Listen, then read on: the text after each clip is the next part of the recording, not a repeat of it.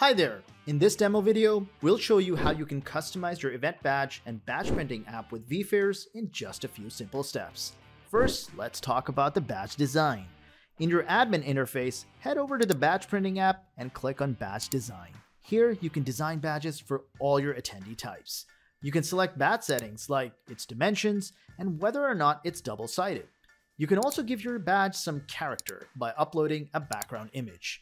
Now that your design is set up, you can think of the information you want to display on it. While there are predefined options available, this is completely customizable.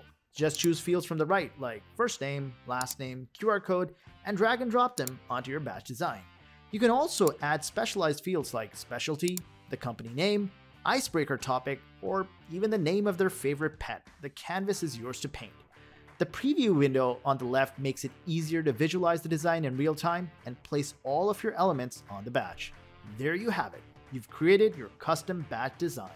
Perfect. Now you can head over to the app builder to set up your badge printing app. You can customize the home screen and the branding screen through these tabs. The home screen tab is for event admins. Add a thumbnail image, event title, and change the app's colors to match your event branding.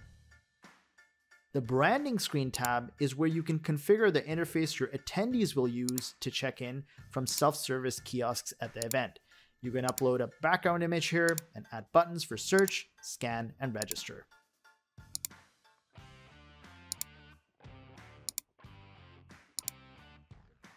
Moreover, the badge printing app also has an event analytics page.